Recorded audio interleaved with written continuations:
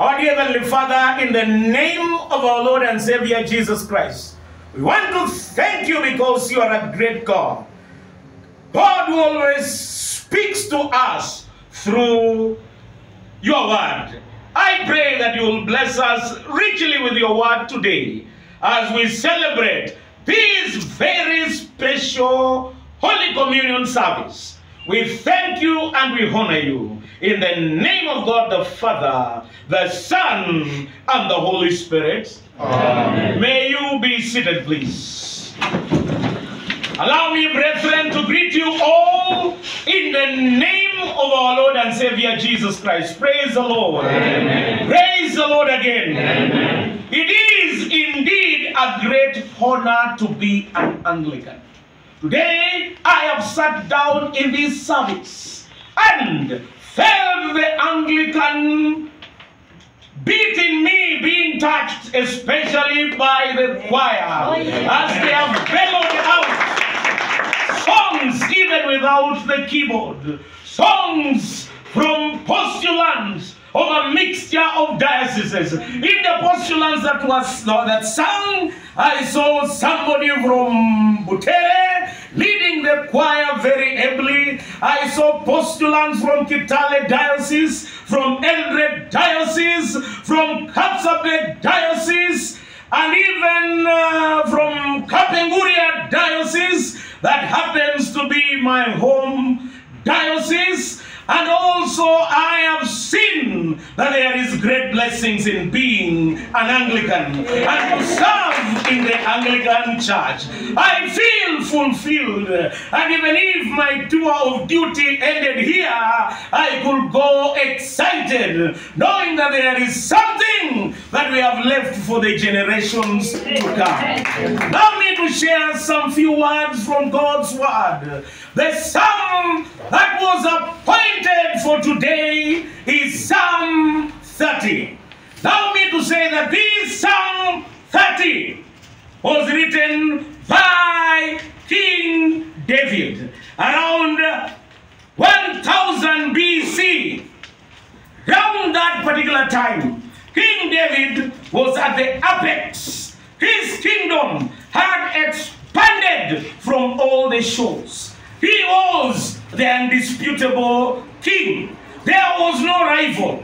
And he asked a man by the name of Joab, Joab, can you please take a census? Take a census of my army so that I can know that I am a great person, a great king. And when he took the census, he forgot that uh, victory was not brought by the army, but finally victory was necessitated by the sovereign God who superintends the affairs of men. And God was annoyed with David. And finally, to cut the long story short, David was assailed by an ailment, a disease and he thought that he was not going to make it. I want to tell you, he saw the grave yard being very near. He was weak as his friends counted him. And they said, Here was a man who depended upon God. But now he's finished. He is kaput. And they gloated uh, over the sickness of David. But at this particular time, this is the time that he turned to God. And when he turned to God, God miraculously healed him. And when God healed him, he prepared uh, he prepared the, the materials to build the altar. When the altar was dedicated, or his palace, he wrote this psalm, a psalm of David, telling us of the deepermost times. I want to tell you as we live on the planet Earth, there are times when we are low and down. There are times when we are up. In fact, one of the biblical scholars says, but Psalms, as you read the Psalms, you get the orientation. At first, In Psalm 30, verse 6, David was doing well before he did that tragic sin. He was oriented well. Then, when he was assailed by this sickness, he was disoriented.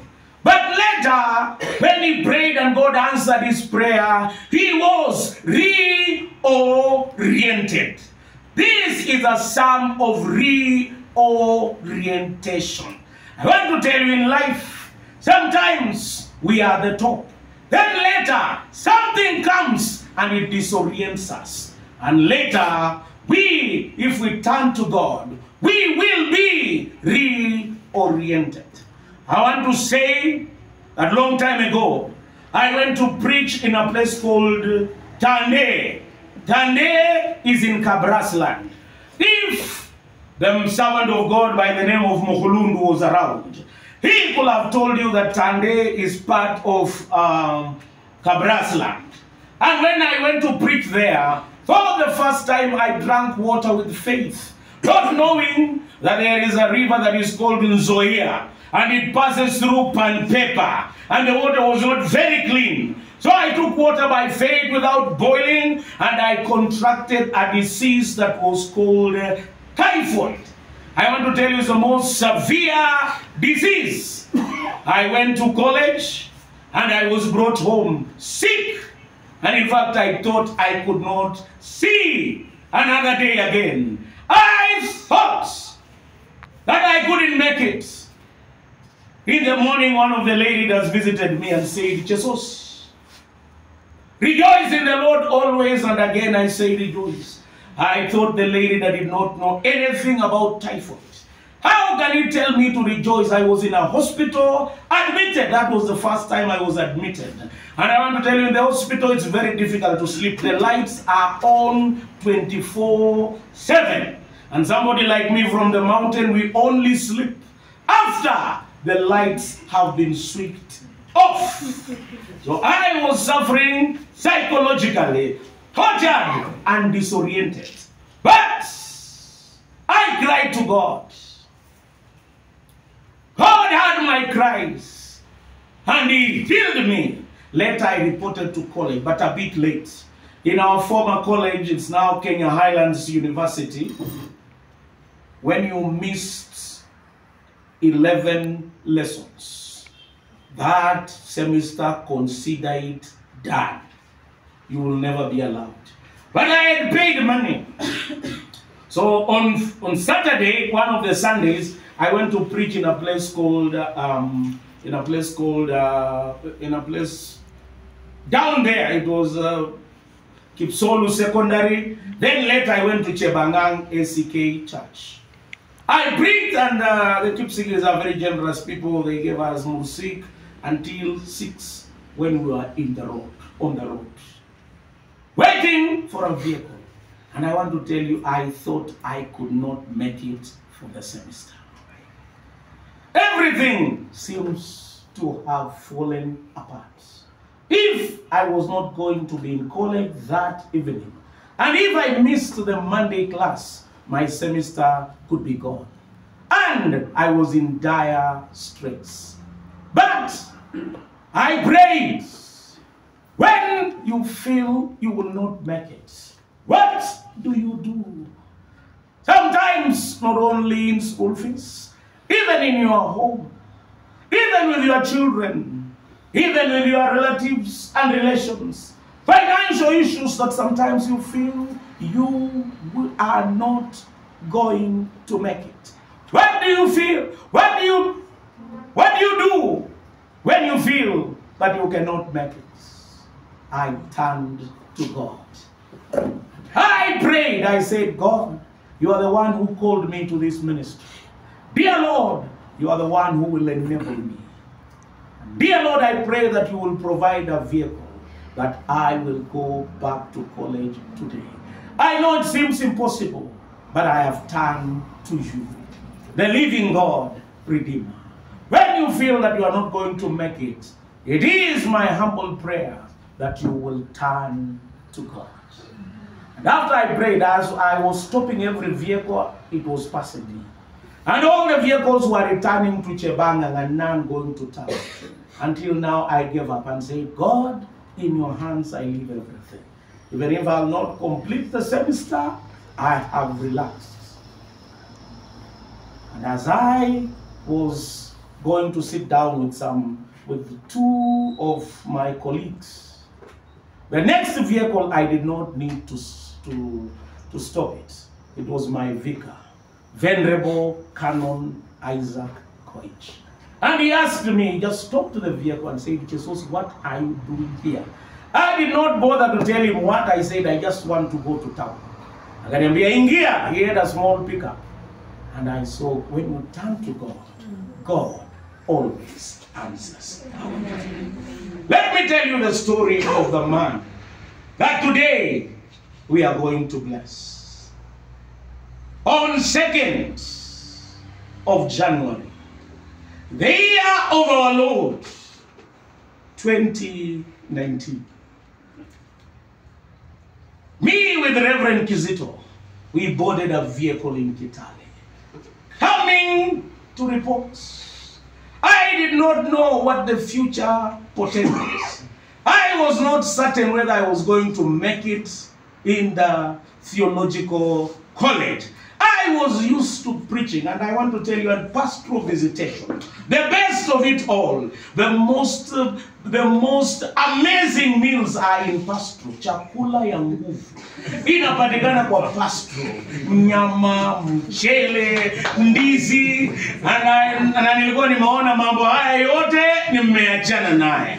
I'm going to a theological college. By the way, my first theological college was Kenya Highlands. The second one was uh, Potchefstroom University. The third one was African Nazarene University. The fourth one was Africa International University. I did not know anything about St. Paul's Theological College, Kapsabet. Thank God I had uh, the then, not now, not then, academic dean, the cool Reverend Kizito. So he was busy shepherding me around. And as he shepherded me around, we came to the college and we were all lost. Thank God there was Julius around. And I thank God Julius is in this service. Julius.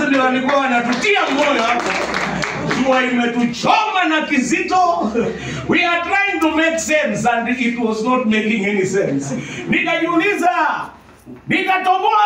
Will I make it?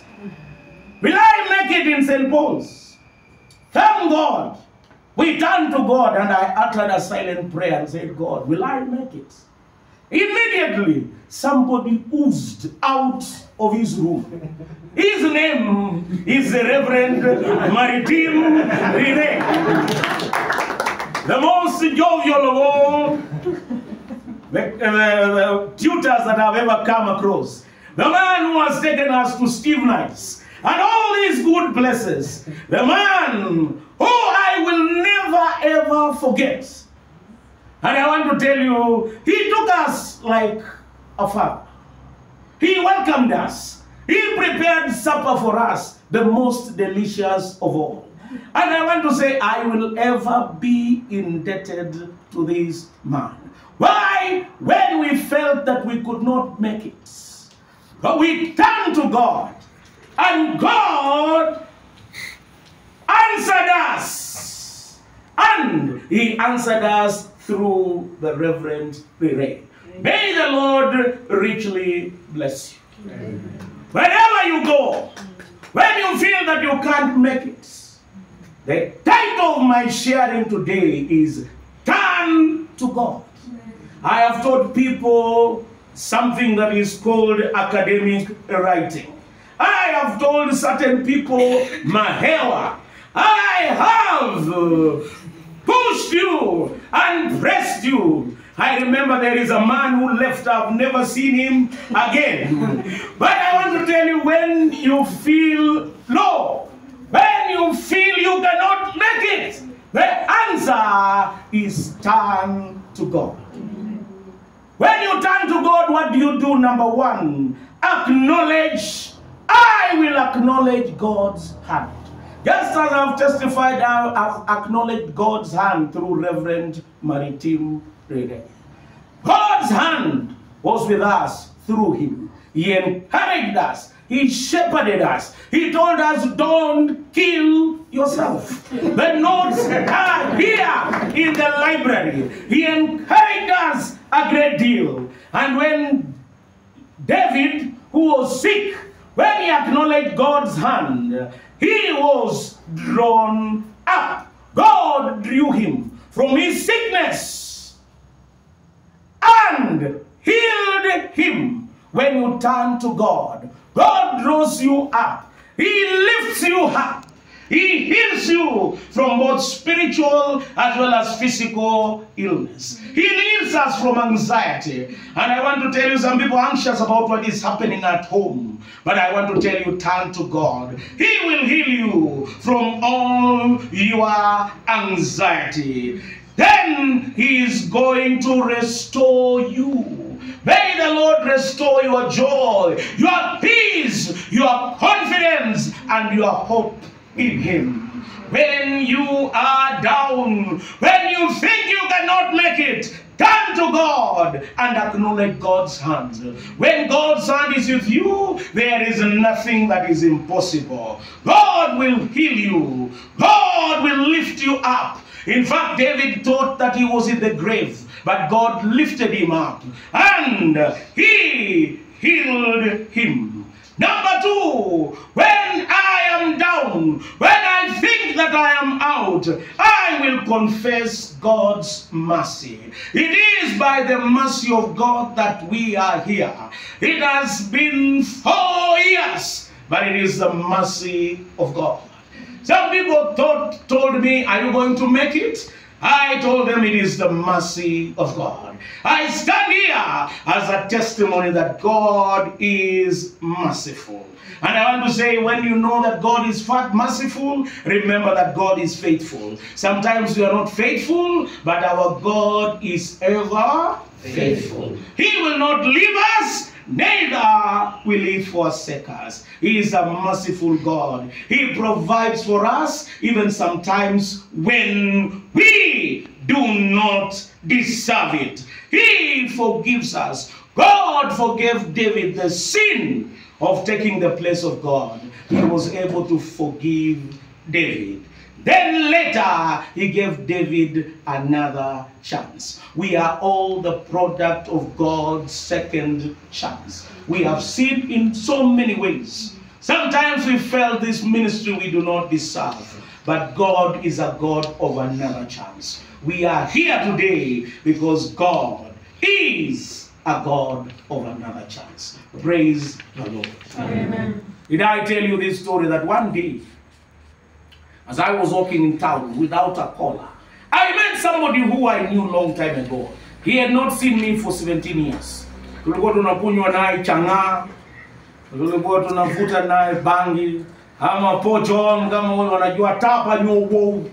Tapa nyogou ni ile kitu ingine unatengeneza kama njugu na unaasha na ukiasha mtu akivuta macho inatoka nje kama ng'ombe, na hata anaweza kula ugali korokoro moja, inaitwanga bangi.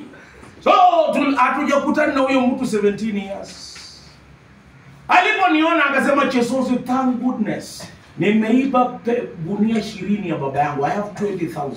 Ukitaka tutakunywa chang'aa ya ba ama chang'aa ya kichorochoroni, ukitaka tutafanya chenye utataka.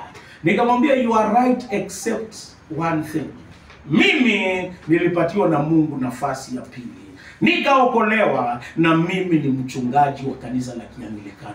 Akaniangalia kutokea mguu mpaka kichwa, akasema wewe ukiwa padri, kila mtu anaweza kuwa padri. Nikasema ni kweli, kila mtu anaweza kuwa padri because we serve a God of another chance. And I want to tell you, God has given padri wetu another chance to serve somewhere. And you never know. He may give you another chance to come back and teach. Our God is a great God. A God of another chance. You never know. You may come back here another time as a chancellor of this university. You never know. God is a God of another chance. And it is my prayer that you will turn to God and confess God's mercy. Thirdly, you will seek to know the will of God. When you are down, when you think you can't make it, seek to know the will of God. May God's will in His Word guide you and lead you. There is a song that we sing. I know my friend from Marama will put it better. Niongo Zevwa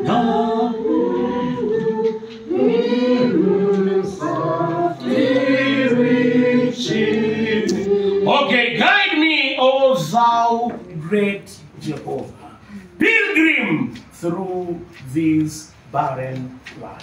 When you are down, seek the will of God, seek the guidance of God. Don't quit, seek the will of God. And I want to tell you, seek the will of God. Some of you wanted to quit. Some of you wanted to leave this institution. But you turned to God and sought His will, and you are there up to now. Do you know sometimes God allows certain people to become like sandpaper to you? Sandpaper is rough, si ndio? Lakini the will of God ni ya usuguliwe na sandpaper ndio ukuwe soft. So hao watu they wanakusugua. Ati ni wabaya. God has allowed them to make sure that unasuguliwa vizuri. Ukitoka hapa, you are clean and ready to serve God. They remove the excesses in us. The last thing is that I'll turn to God and wholly surrender to Him. I will surrender to God to provide for me. I will surrender to God to protect me. I will surrender to God to preserve me. My senior colleague, mentor, friend, surrender to God so that He will provide for you. I know you lack nothing. He will protect you and He will preserve you. May the Lord postulants be your provider. And even the staff who are here, I'm very happy that you are here for this service. Wherever you go, may the Lord provide for you. May the Lord protect you. May the Lord preserve you against all the dangers and temptations as we go to these Christmas festivities. As you travel, may the Lord protect you. When you are with the family, may the Lord provide for you and for your children and for yourself. That in the month of April, you will come back and will hear these beautiful voices to the glory and honor of God's name. When you are down next time, because it is not if, it is when.